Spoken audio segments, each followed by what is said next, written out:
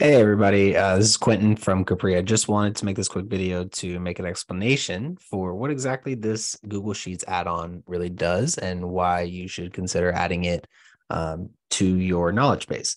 So by default, whenever you give us a Google Sheet to use for knowledge and uh, for questions and answers, we will actually load the whole thing into the prompt at runtime. So once the question comes in, we'll pull every question and answer you give us, and then GPT-3 or ChatGPT, whichever model you choose, will determine uh, which answer it should use and what the response should be, stuff like that.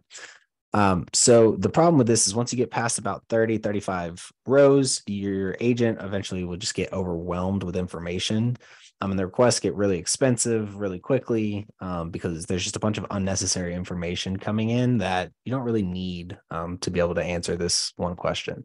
And this is true for any model type you use. If you use DaVinci or if you use the uh, Turbo Chat GPT Turbo, whatever they're calling it for the new one, um, this limit still exists because you can only put 4,000 tokens into here.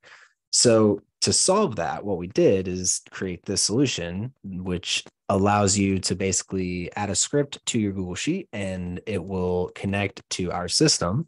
Um, and whenever a request comes in, instead of loading the entire Google Sheet at once, we will instead just pull the relevant information um, from the Google Sheet. Like we'll know which ones are the most important uh, question and answers that are similar to what's being asked right now and then we'll use that to then make the completion and eventually the completion makes it much more accurate because you're feeding it less information overall so it's a lot easier for it to pick up on what it needs to know.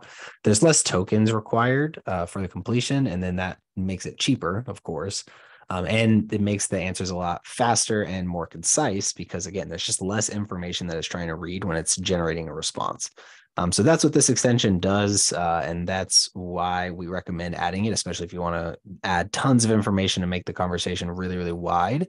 This will definitely help with that. So I hope that makes sense. Um, let me know if you have any questions, and uh, thanks so much for watching.